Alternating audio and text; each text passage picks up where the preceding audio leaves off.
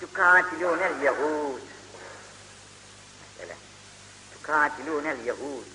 Yahud'la dövüşeceksin. Katile değilsin. Katile karşılıklı dövüşmeye diyorlar. Katile değilsiniz. Fetusallitûne aleyhim. Bunlar sizin üzerinize musallat olacaklar. Fetusallitûne aleyhim. Siz onların üzerine musallat olacaksınız. Yahudilerle muhalefet muharebe edeceksiniz.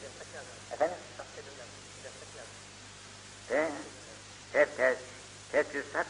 Fetüsellitûne. Fetüsellitûne.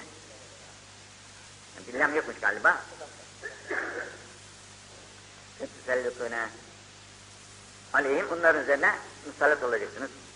Galip geleceksiniz yani. Bunların üzerine galip geleceksiniz. Hatta yahtebi ahadun vera'el hacer. Bunlar acizlerinden çare bulamayacaklar, kaçacaklar. Bir taşın arkasında da sığınmak mecburiyetinde kalacak. Başka çaresi kalmayacak. Bir taşın arkasına sığınacak. Bugün kudret ilahi feyekulul hacer. Bu taşa Allah dil verecek. Bu taşa dil verecek. Büyük bir taş anlaşılan. Ya Abdallah. Ya Abdallah. Ey Allah'ın kulu. Hâzâ Yahudi. Arkamda şu Yahudi var. Verai benim arkamda saklandı. Faktülhü.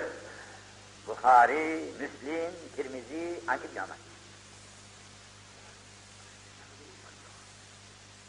Bugün böyle. Fakat yarın ne olacağını yine Allah bilir. Yalnız çalışmak lazım.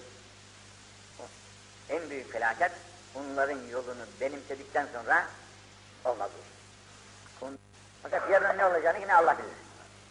Yalnız çalışmak lazım. En büyük felaket onların yolunu benimsedikten sonra olmaz. Onların yolu bizim yolumuz değil. Kumar oynar, içki içer, dans eder, balaya gider, denizde efendim çıplak gezer, karısını çıplak gezdirir, birbirinden kaçırmaz.